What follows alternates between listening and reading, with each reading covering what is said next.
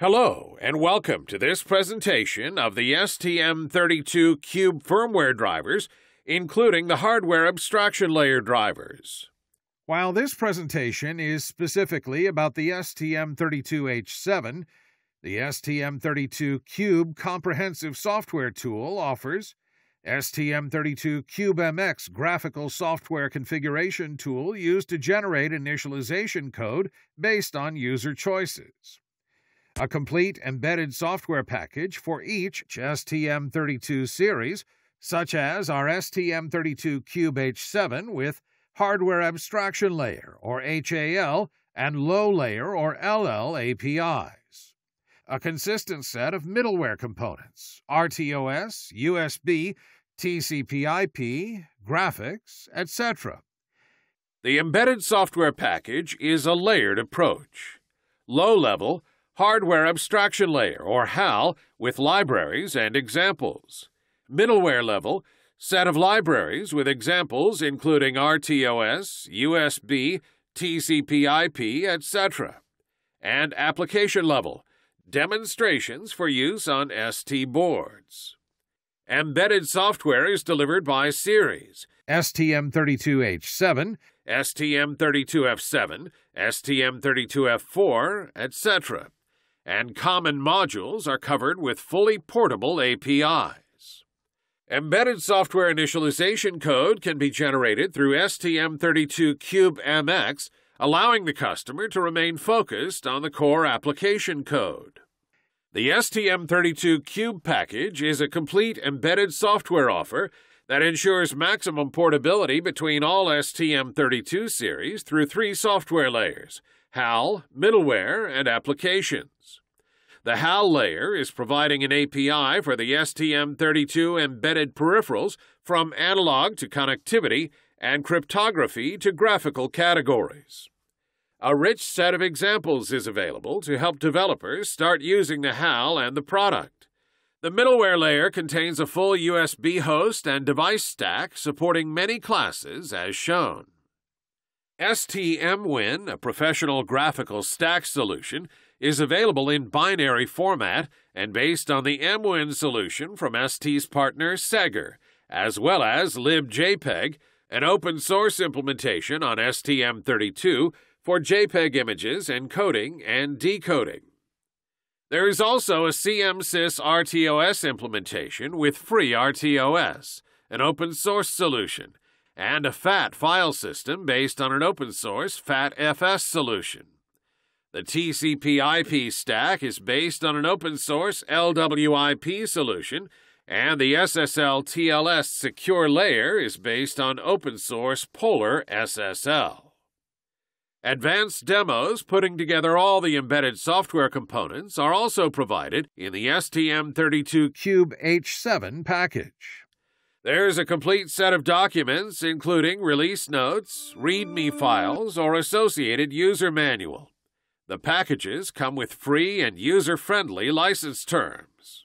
Like all STM32 Cube firmware packages, the STM32 Cube H7 firmware solution comes in a single zip file, having the structure shown in this slide.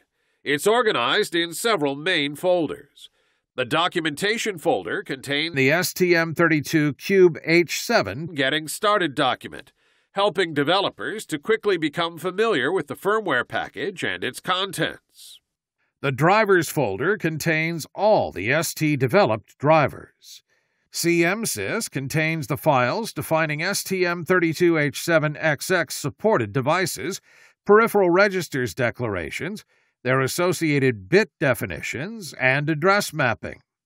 The STM32H7XX HAL driver folder contains the drivers for all the peripherals.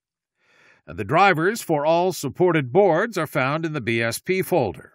Middleware contains the supported middleware libraries and stacks provided either by ST or third parties. The Projects folder contains templates, examples, applications, and demonstrations for supported boards and with pre-configured projects and specific README files that provide all necessary information for a quick and easy execution.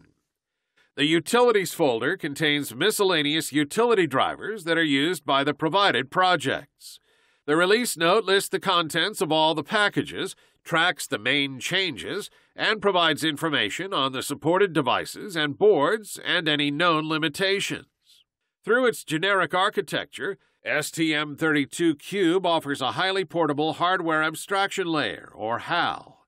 It allows developers to implement application functions by building on layers, such as the middleware layer, without requiring any in depth knowledge of the MCU. This improves the reusability of the library code and guarantees an easy portability to other devices.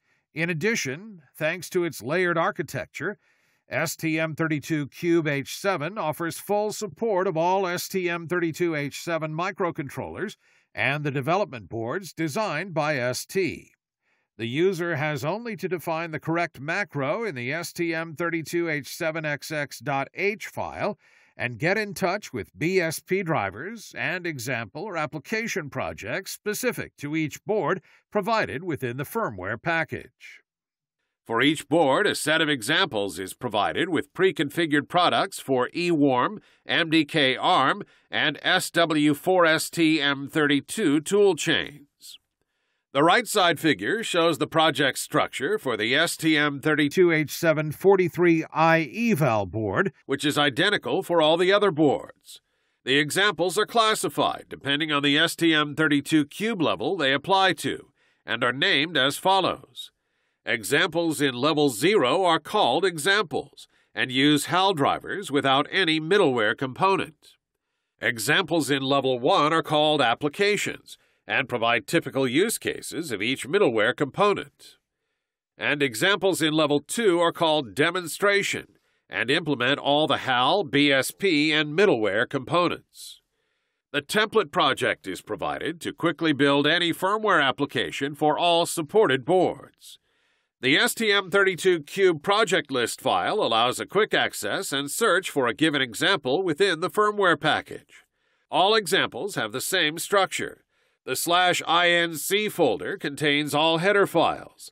The slash src folder contains the source code. The slash ewarm slash mdkarm and slash sw4stm32 folders contain the pre-configured project for each toolchain. A README text file describes the example behavior and environment needed to make it work. Rich documentation is associated with the STM32 Cube H7 firmware package. Some documents are generic to all STM32 series, and others are specific to the STM32 H7 series. The Getting Started with the STM32 Cube F7 firmware package user manual is the document that you need to read first when you start using the STM32 Cube firmware package. The STM32 Cube H7 firmware can be downloaded from ST's website at www.st.com slash stm32cubefw. Thank you.